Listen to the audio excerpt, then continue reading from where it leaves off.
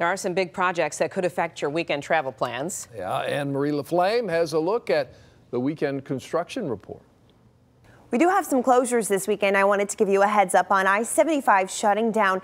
This is closing between Springwells and Clark. Now it officially closes Friday at 11 p.m. and will wrap up before your Monday morning drive at 5 a.m.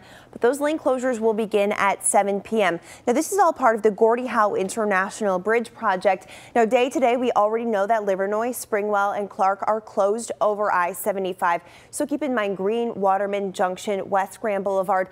You'll use those until next November. November because this is a long-term project. Also this weekend, we do have I-75 southbound between 94 and Warren with one lane open beginning Saturday 9 to 1 and then repeating 9 to 1 on Sunday. And finally, we move to 96 eastbound from Novi to 275.